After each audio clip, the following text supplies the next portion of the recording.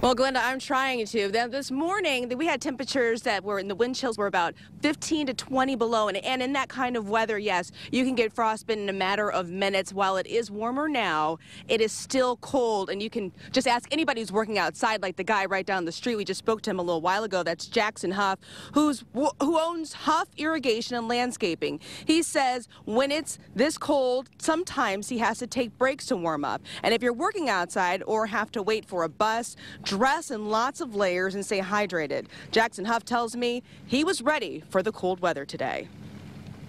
It's extremely cold. I was out here yesterday, and my goal was to do better than I did yesterday. That's why I got all this stuff, gargles and everything. Snow is coming back in your face. It's cold. Are you layered up pretty well then? Yes, I am. Yes, I am. I left out yesterday with one pair of long johns. Today it's two. So, yes, layered up very well.